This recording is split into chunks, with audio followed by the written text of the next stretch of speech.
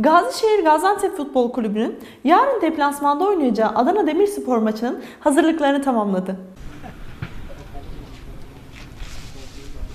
Bugün sabah son antrenmanını yaparak Adana'ya hareket eden kırmızı siyahlı ekip kampa girerek maç saatini beklemeye başladı. Adana 5 Ocak stadında oynanacak zorlu karşılaşma öncesi Gazişehir'de sakatlıkları süren Adamaba, Gürcan Gözün ve kart cezalısı Mehmet Erdem Uğurlu haricinde eksik bulunmuyor.